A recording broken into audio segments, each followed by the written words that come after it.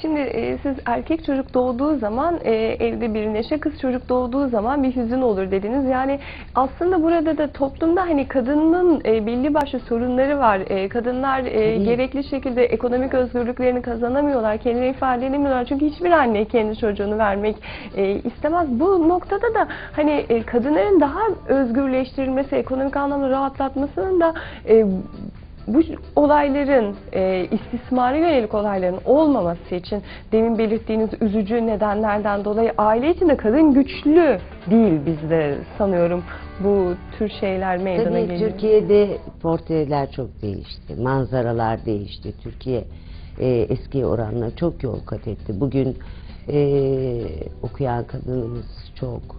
E, belirli kurumların başında olan kadınlarımız çok. Eskisinden farklıyız.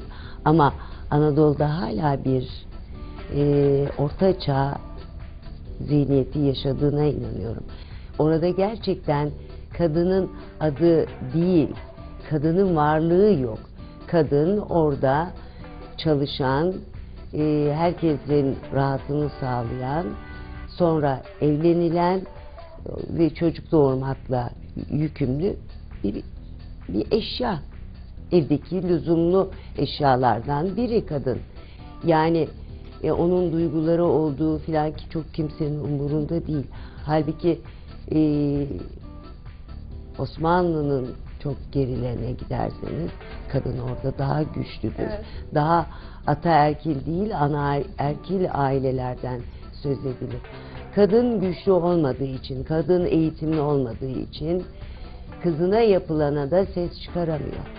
Biz hep e, genç nüfus potansiyelimizden bahsediyoruz. O genç nüfus potansiyelimizin verimli şekilde gelişmesinden ben mesela ekranda görüyorum bir Çin, bir Azerbaycan, jimnastik, spor çeşidi vesaire alanlarda e, güzel başarılar elde ediyorlar. İmreniyorum bizim ne kadar çok e, avantajımız var. E, ne kadar çok zeki, Genç akıllı, güzel e, çocuklarımız var değil mi? Bunlar şey yapı değerlendirilmesi gerekiyor. Bunların böyle üzücü olaylarla değil, güzel olaylarla e, bu çocuklar eğer gerekiyor. bunlara yönlendirilirse Evet. birçok şeyden kurtulmuş olurlar dediğiniz gibi özellikle spora kanalize olsalar birçok sorunla belki bundan bununla üstesinden gelirler. kendi ayaklarında Evet. durabilecekleri alanlar da e, yaratılmış olabilir. E, peki derneğe yardımda bulunacak, maddi manevi yardımda bulunmak isteyen izleyicilerimiz nasıl e, Bizim ulaşabilirler? internet adresimiz var. E, mikader.org.tr Buraya girdiklerinde banka hesap numaralarımıza ulaşıp oraya e, yardımda bulunabilirler ve gönül rahatlığıyla e, bu yardımların e, yerine ulaşacağından da emin Bu olabilirler. da çok önemli bir Evet, nokta. evet. Evet. Biz bunun takipçisiyiz burada. Ben eee Mikader'den biraz söz etmek istiyorum. Mikader kurulduğu zaman eee, bütün yönetim kurulu üyelerimizle bir şeyde karar kıldık. Dedik ki eee, derneğe gelecek olan her kuruş çocuklara harcanacak. Yani bizim bu eee, çok yoğun olan seyahatlerimizde yol paralarımız eee, ya da oradaki konaklamalarımız tüm harcamalarımız kendi cebimizden harcanır. Dernekten hiç e, bu şekilde bir harcama yapılmaz. Çünkü e, toplumun gelişmesi için sivil toplum kuruluşlarının çalışmaları çok önemli. Bireyin gelişmesi çok önemli ve bireysel olarak yapılabilen e, çalışmalar çok önemli. Türkiye'de ilk önce e, bireycilik gelişebilmeli ki Evet, e, toplumumuz gelişebilsin, toplumun refahı e, gelişebilsin. Bunlar çok önemli. E, çalışma ambiyansı nasıl e, Sosyal Hizmetler Çocuk Esirgeme Kurumu'yla e, birbiriyle Birebir, tamamlayıcı Tabii tabii. şekilde Ee, geçen sene onlarla e, Sosyal Hizmetler Çocuk Esirgeme Kurumu Genel Müdürü Sayın İsmail Barış ve Kadın ve Çocuktan sorumlu Devlet Bakanımız Sayın Aliye Sema Kavaf'la e, dernek yönetim kurulumuz Ankara'da bir protokol imzaladı. E, şu an çok uyumlu bir e, çalışma sistemimiz var. E, çalışmalarımızı gönülden destekliyorlar. Bunu da şuradan anlıyoruz. E, yeni bir ofis açıyoruz. E, bir sevgili dostumuz bir dairesini bize e, verdiler ve güzel bir ofis açıyoruz. Mikader ofisi.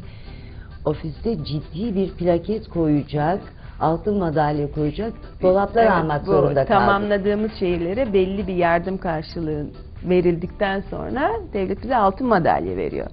Ee, Birçok şehirden e, pek 16 çok tane, altın evet. madalyamız Ve oldu. bir Hemen- sonraları hemen hemen- ona göre dolaplarımıza yer ayırıyor. Hemen hemen Altın bayağı madalyalar. bir altın madalya e, koleksiyonumuz oldu. Bu da e, genel müdürlüğün ve bakanlığın çalışmalarımızı gerçekten onayladığını gösteriyor. E, Mikader e, yalnızca e, Selçuk'taki belirli bir gruba hizmet etmiyor. Engelli çocuklarımıza da katkıda bulunuyor.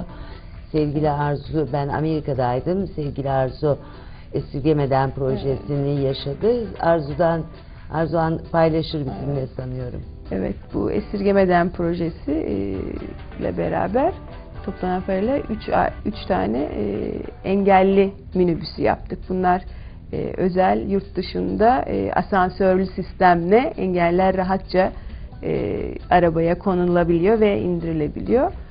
Tabii bunu yaptıktan sonra bu yönde de talepler olmaya başladı. Biz de bunlara cevap vermeye çalışıyoruz elimizden Şimdi geldiğince. balonun, balonun geliriyle de e, bir tane daha e, e, elektronik asansörlü engelli minibüsü yaptırıyoruz.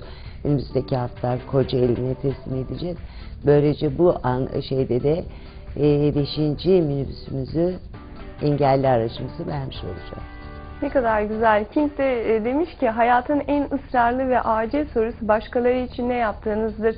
E, insanların e, hayatlarında ufak da olsa bir değişiklik meydana getirebilmek, e, bunlarda bir nebze olsun payınızın olduğunu bilebilmek, bir başkasına yardım edebilmek ne kadar güzel. Belki de hayatın en büyük mutluluklarından Tabii biri. tabii tabii. Yani bu 9-10 bin çocuktan e, kaçının hayatını değiştirebiliriz, kaçının geleceğine ışık tutacağımızı gerçekten bilmiyoruz.